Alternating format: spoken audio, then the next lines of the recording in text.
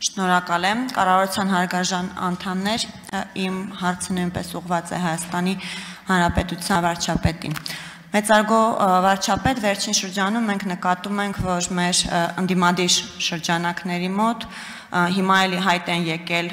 քարտեզագիտական, քարտեզագրական հմտություններ եւ այս նոր ձևավորվող հմտությունների շրջանակներում վերջինները սկսել են կրվեցնել տարբեր թվականների քարտեզները դրանով փորձելով տորպեդահարել սահմանազատման գործընթացը մեկ հիշում են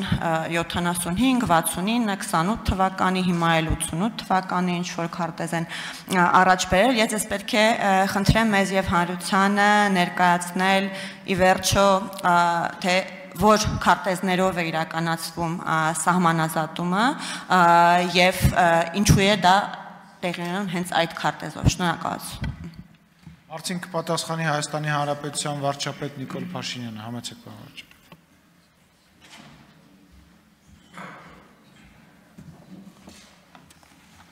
Շնորհակալ եմ Տիկին Ջուլակյան հարցի համար։ Ես նախորդ հարցինի պատասխան ասացի, որ մենք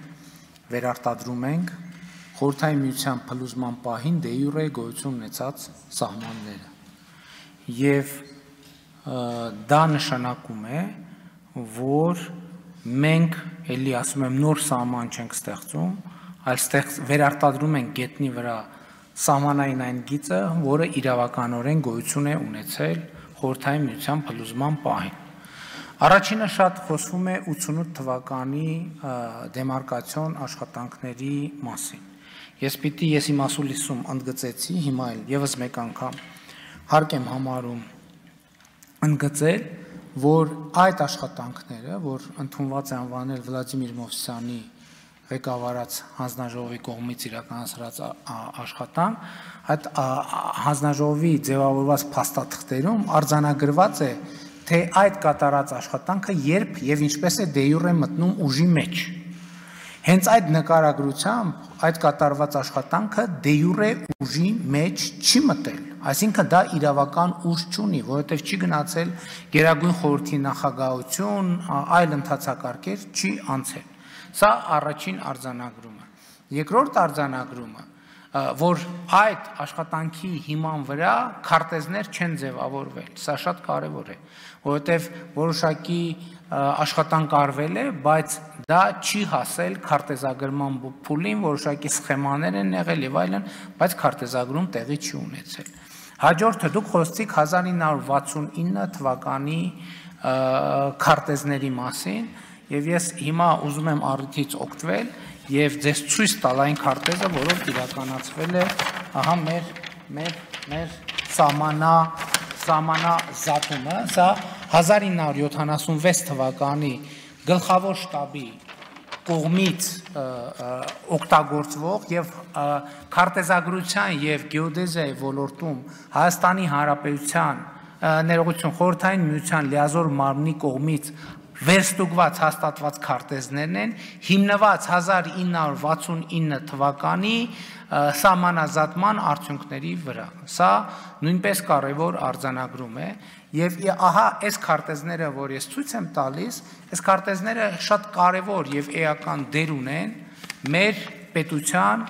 անկախության, ինքնիշխանության հետագա զարգացման գործում, որովհետեւ այս քարտեզները նկարագրում են Հայաստանի Հանրապետության դե յուրե գոյություն ունեցող սահմանները։ Մենք ես նախկինում ասել եմ, հիմա աշխատանքային հարց ա եղել ավելի փակ եմ ասել, հիմա կարող եմ ավելի բաց ասել, որ մենք շատ մանրազնին աշխատանք կատարելով, ահա այս քարտեզներով, այս քարտեզների 19 էջերով վերարտադրել են քարտեզների վրա Հայաստանի Հանրապետության սահմանի ամբողջ պարագիծը։ Սա ես ուզում եմ ընդգծել, թե ինչ կարևորագույն իրադարձություն է Հայաստանի Հանրապետության համար, որովհետև դրանով մենք ընդգծել ենք մեր ինքնիշխան տարածքը եւ ընդգծել ենք, վերարտադրել ենք սահմանային գծերը եւ սրանով մենք եւս մեկ անկյունակար ենք դրել, ընդ որում դե յուրե հիմնավորված թղթերով, սա շատ կարևոր է։ Շատ անկյունակար ենք դրել մեր անկախության եւ պետականության ինքնիշխանության հետագա զարգացման գործում։ Արձագանք։ Շնորհակալ եմ պատասխանի համար, պարոն վարչապետ։ Ես եթե ճիշտ հասկացա ձեր պատասխանը, դուք ասում եք, որ մենք սահմանազատումը իրականացնում ենք, այսինքն Հայաստանի Հանրապետության սահմանը վերարտադրում ենք վերջին իրավական ուժ ունեցող քարտեզի հիման վրա եւ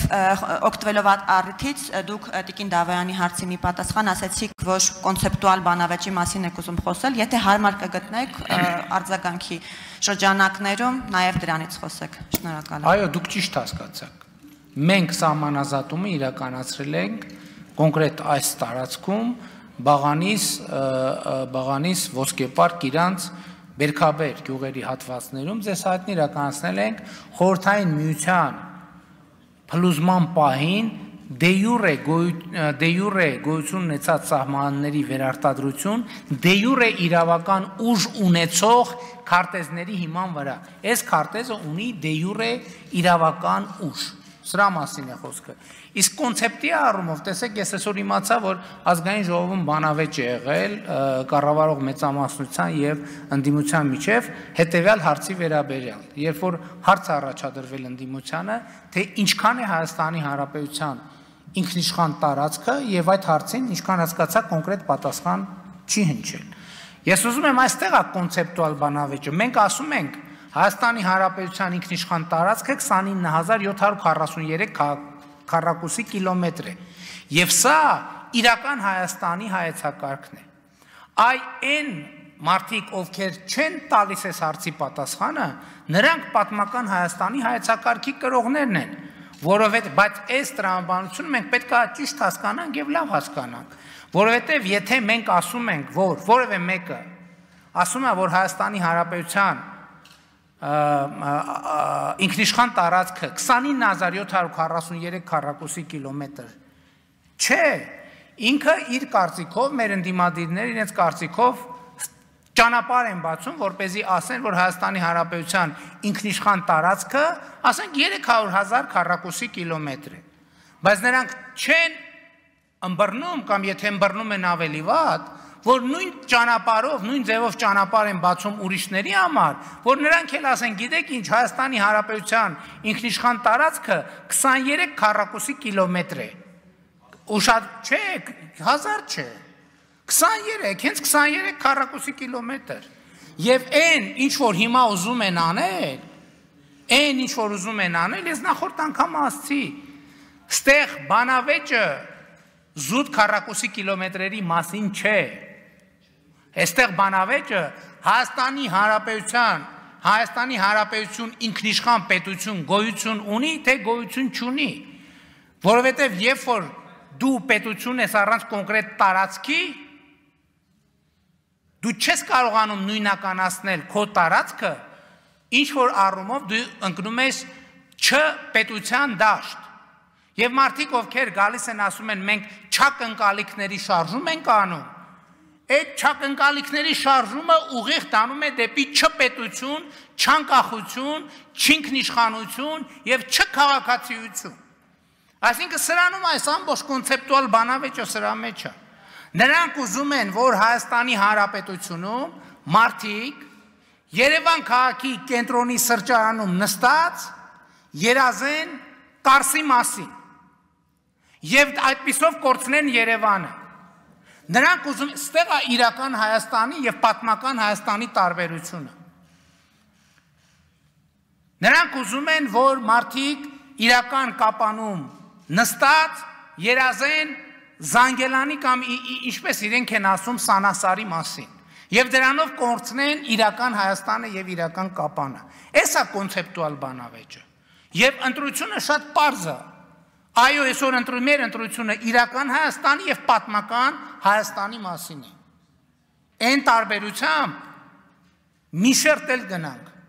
որ իրական Հայաստանը այդ ապագայի մասին է։ Այդ որ կներեք, այդ որ մեզ ասում են այդքան որ ասում ենք ապագա կա, ապագա կա, ապագա կա, այդ ապագան է սա։ Այս այդ ապագան։ Որը կոնկրետ է, միլիմետրի ճշտությամբ գիտենք իր սահմանը, Եվ իր անվտանգությունն էլ ապահովում ենք ոչ թե առավոտից իրիկու սրա նրա ոտերի տակ ընկնելով, թե եկեք մեր անվտանգությունը ապահովեք, այլ ապահովում ենք մեր լեգիտիմ դիրքի վրա կանգնելով։ Այն այսօր մեզ ասում են հանձնում են, տալիս են, էս են անում։ Ես մենք միասին իրար հետ հայտարարել ենք լեգիտիմությունը որպես Հայաստանի Հանրապետության ինքնիշխանության, պետականության եւ անվտանգության անկյունակար։ Եվ մենք այսօր էս ենք անում, ասում ենք, էս մեր լեգիտիմ սահմանագիծն է միլիմետրի ճշտությամբ։ Ինչ այս սահմանից են կողմը, մեզ հետաքրքիր չի։ Ինչ է սահմանից այս կողմը անձեռնմխելի է, դա մեր պետությունն է, դա մեր սրբությունն է, դա մեր ինքնիշխանությունն է, դա մեր անկախությունն է, եւ սա մեր երեխաների պետությունն է, որտեղ իրանք պետք է ապրեն։ Եվ այս պետությունը պետք է ապահովի մեր երեխաների ազատությունը, երջանկությունը, բարեկեցությունը եւ իհարկե արդար միջավայր նրանց համար։ Շնորհակալ